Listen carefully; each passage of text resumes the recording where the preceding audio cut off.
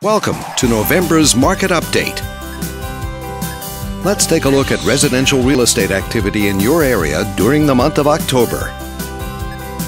The number of active listings was stable from one year earlier and down 4% from the previous month. These latest figures mean that buyers had a more limited selection of homes to choose from compared to the previous month.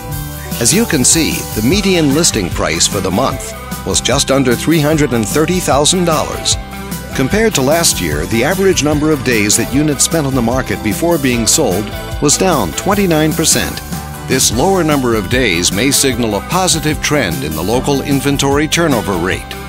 The median sale price was just over $280,000. The number of units sold decreased 20% year over year and held steady month over month.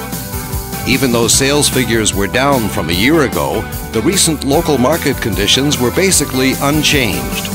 Thanks for watching. We hope you use this information to make smart, informed decisions in your upcoming real estate transactions. Click on screen to contact us for more information or further assistance.